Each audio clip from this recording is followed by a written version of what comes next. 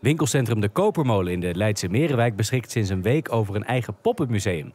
Het museum is te vinden in het oude pand van de Etels en laat het verleden, het heden en de toekomst van de wijk zien. Op deze plek willen we eigenlijk een, eh, een plaats creëren om met de consumenten, met de bewoners in contact te komen.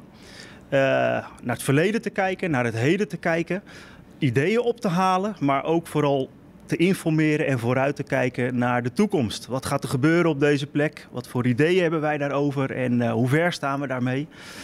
Dus dit is een plaats waarbij uh, ja, mensen een kijkje kunnen komen nemen en uh, ja, zich kunnen laten informeren en vooral ook ideeën met ons te delen. De expositie bestaat uit zowel verhalen als voorwerpen. Deze komen van de bewoners van de Merenwijk zelf. Je ziet uh, verhalen van bewoners vanuit het heden.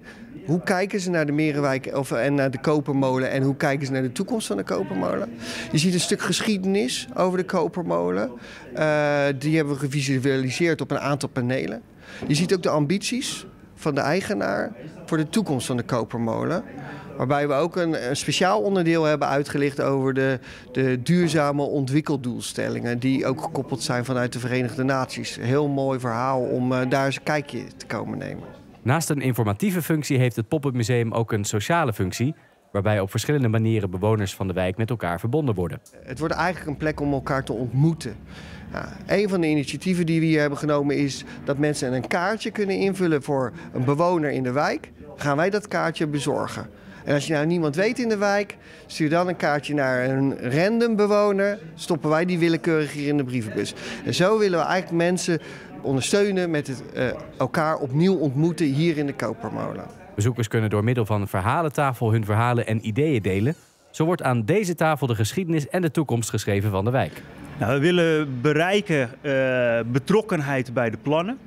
Uh, de mensen die hier wonen, leven, soms hun hele leven eigenlijk al uh, in dit centrum komen, hebben zelf ook een hele goede blik en kijk op wat hier nodig is.